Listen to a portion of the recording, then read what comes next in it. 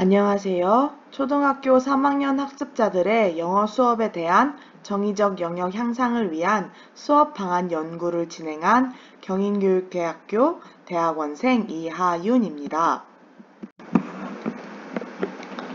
제가 연구를 진행한 환경에 대해서 말씀드리겠습니다.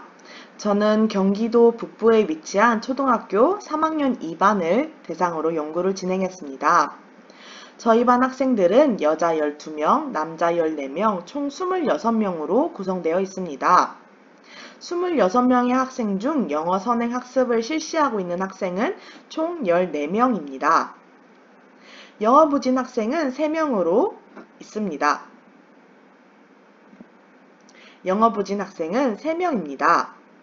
연구 수업을 진행하기 전에 알파벳을 익히고자 일주일에 한 번씩 알파벳 두 글자씩 담임교사와 복습을 한 후에 연구 수업을 진행했습니다. 제가 알파벳을 복습하면서 활용, 활용한 연구 자료는 다음과 같습니다. 저의 연구 목적은 총세 가지입니다. 첫 번째, 학생들이 영어 수업에 흥미가 낮아서 영어 수업의 흥미를 높이기 위해 교사는 어떤 학습 도구를 사용하면 효과가 높을까 파악이 목적입니다. 두 번째, 보드게임과 스피드 퀴즈를 사용했을 때 정의적 영역의 변화가 있을까? 세 번째, 보드게임과 스피드 퀴즈 활용 결과를 비교하는 것이 목적입니다. 연구 방법은 다음과 같습니다. 첫 번째, 연구 참여자 또는 연구 대상에 대해서 말씀드리겠습니다. 연구 참여자는 3학년 2반 담임교사 이하윤 및 3학년 2반 26명의 학생들입니다. 자료 수집 및 분석 방법은 연구 전, 연구 중, 그리고 연구 후 총 3번 수집할 예정입니다. 연구 전에는 학생에게 설문조사를 통해 영어 수업의 선호도 및 질의응답을 실시합니다. 연구 중에는 관찰평가 및 발표나 영어 사용 횟수를 표시해 양 질적 연구 자료를 수집합니다.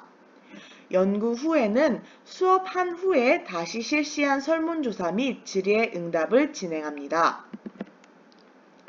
수업 전 설문조사입니다.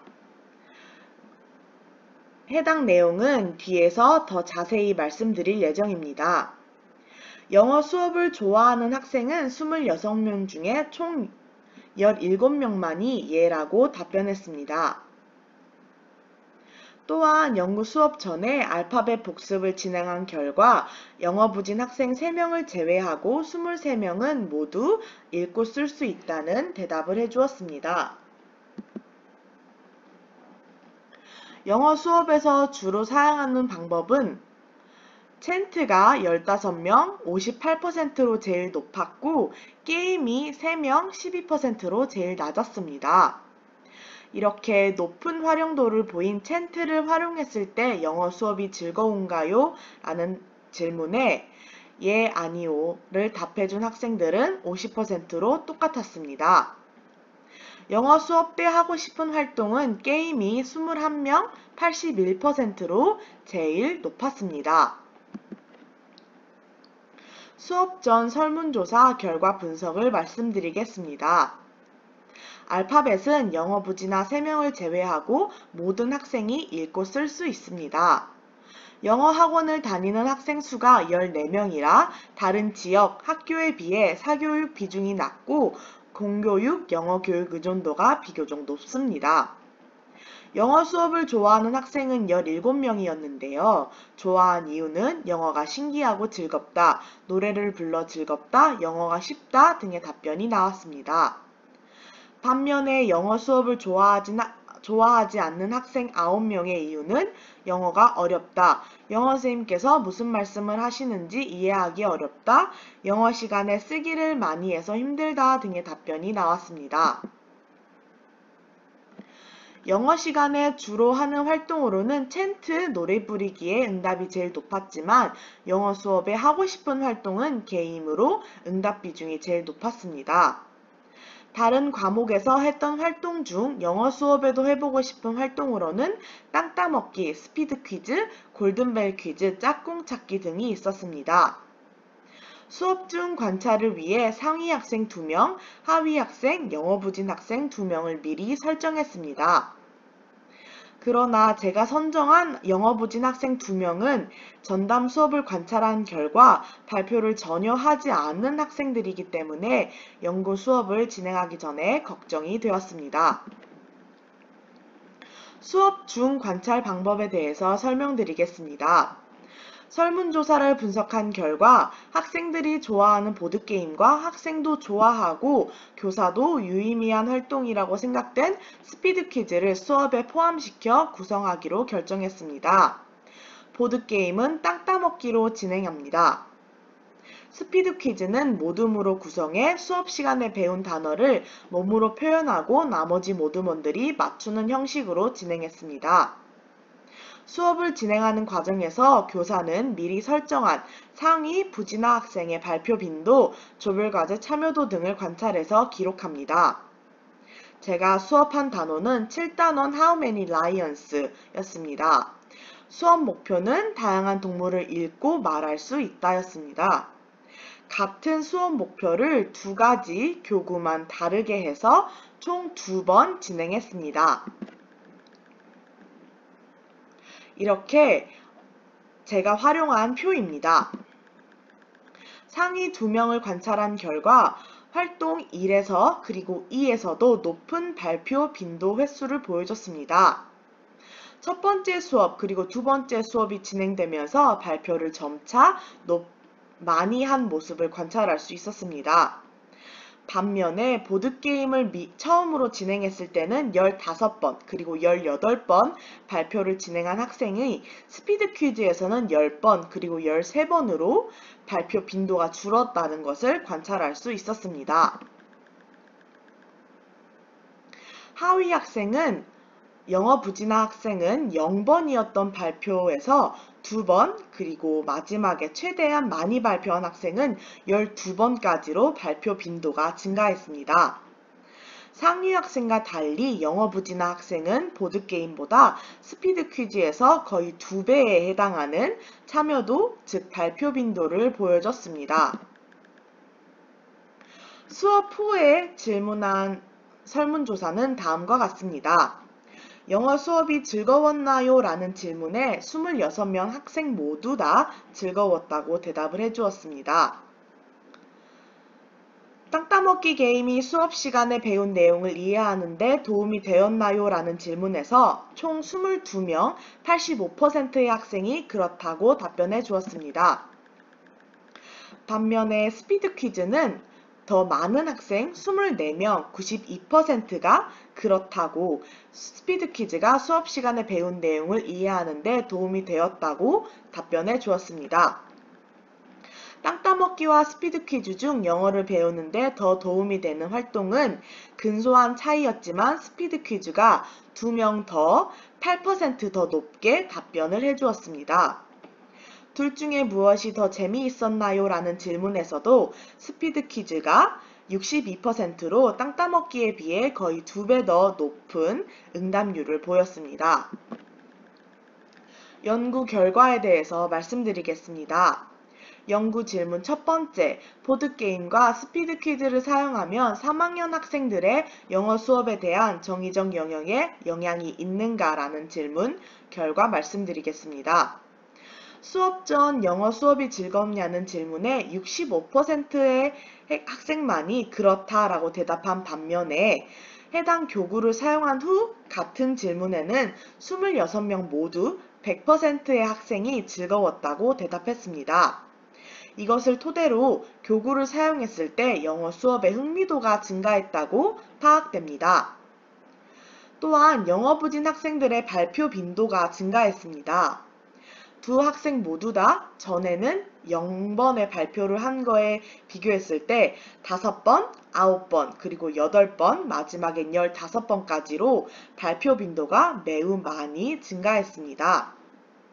수업 중 관찰한 학생, 상위 학생 2명, 부진한 학생 2명 모두 총 4명 수업 시간의 발표 빈도가 증가함에 따라 참여도도 증가함을 알 수 있었습니다. 흥미도와 참여도가 모두 증가했기 때문에 보드게임과 스피드 퀴즈를 사용했을 때 정의적 영역에 긍정적인 영향을 주었다고 결과가 나왔습니다. 연구 질문 두 번째에 대해서 말씀드리겠습니다. 보드게임 땅 따먹기와 스피드 퀴즈를 활용한 연구 수업의 결과를 분석해 드리겠습니다. 보드게임은 88% 그리고 스피드 퀴즈는 81%의 참여도를 보였습니다. 보드게임이 즐겁지 않았다고 대답한 3명 학생 중 2명은 영어 부진화 학생이었습니다. 즐겁지 않았다는 이유는 1대1로 영어를 하고 승부를 내는 것이 부담스러웠다라는 답변이 있었습니다.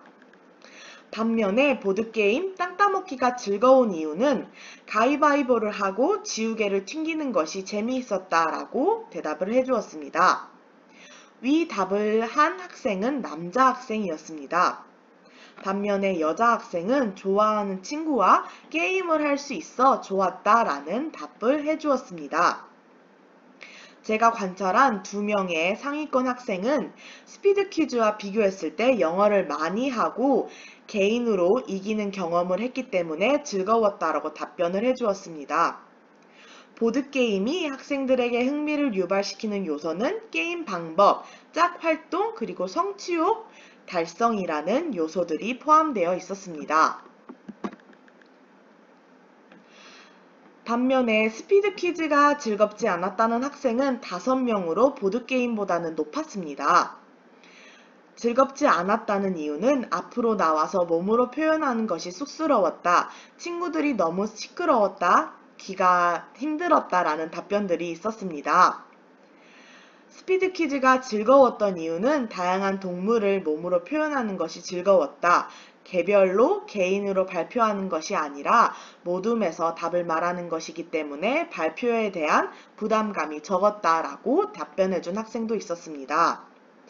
또한 앞에 나와서 다른 모둠 학생들이었지만 친구들이 동물들을 웃기게 표현해서 수업이 즐거웠다라고 답변한 학생들도 있었습니다. 스피드 퀴즈를 활용했을 때 학생들의 흥미를 유발시키는 요소에는 즐거움, 자신이 직접 몸으로 표현할 수 있다, 그리고 발표가 개인 발표가 아니기 때문에 낮은 부담감 등을 느꼈다라는 요소가 있습니다.